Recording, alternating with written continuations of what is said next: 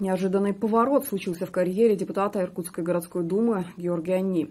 Против народного избранника возбудили уголовное дело, и речь не о коррупции, самой распространенной среди представителей власти статьи.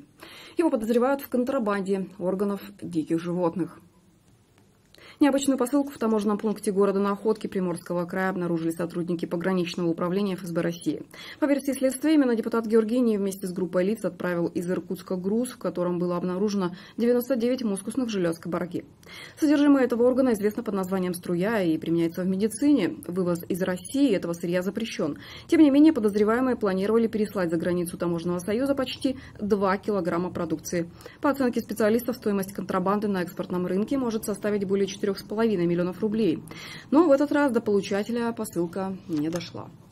Стратегически важные ресурсы были изъяты у посредника, действовавшего в рамках оперативно-розыскного мероприятия 26 мая этого года в гараже по улице Куйбышева в городе Находка. 24 июня подозреваемые задержаны в Иркутске и доставлены во Владивосток для производства следственных действий. Решается вопрос об избрании в отношении них меры пресечения.